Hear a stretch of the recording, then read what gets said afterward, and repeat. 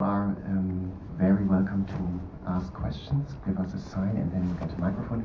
Maybe I can start with the first question.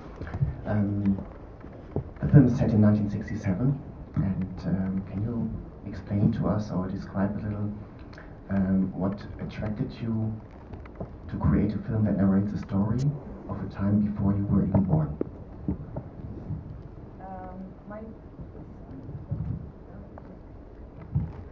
Um, my uh, interest in, in this period that I was not born yet um, comes is also uh, very personal. Uh, my parents are from Bethlehem, um, and Bethlehem was occupied in 1967, and that was a very important year for my family um, because it was the year that uh, I mean changed everything.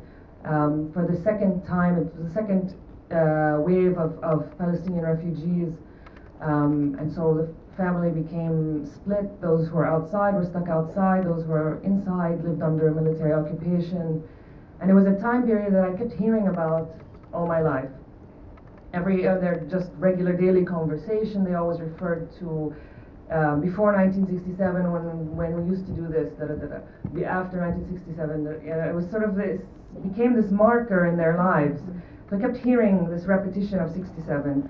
Um, so it was a year of, of tragedy, but also at the same time, it was a year of those years of hope all over that existed everywhere in the world. Um, that I was interested in, interested in going back to explore um, with you know uh, civil rights movements, anti-colonialist movements, um, everything that was happening in the world, um, which is also I have to say it's my fantasy of that period because I didn't live it. But when I when I believe that people had a lot of hope um, regular people felt that they could do something to change their, their lives, um, and they believed that.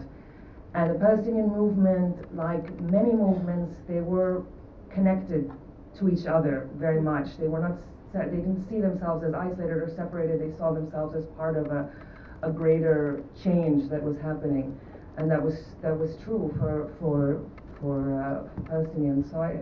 I was interested in, in sort of exploring that and that, that kind of hopefulness that existed, um, and, and to keep the film in that period also before things changed.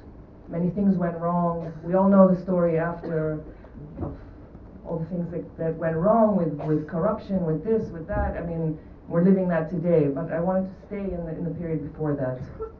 Mm.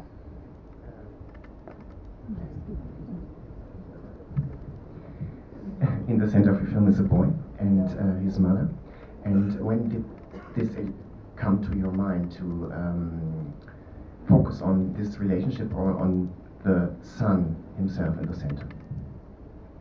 Um, I liked the idea of a, of child and mother, um, a sort of coming of age story at a time of independence when a child is also looking for his own independence um, from their own family when he's between, um, in the case of Tariq, between boyhood and manhood when he's forced into a, a situation, he's still a child, but he's now living a situation that he never asked for and maybe forced to grow up very quickly.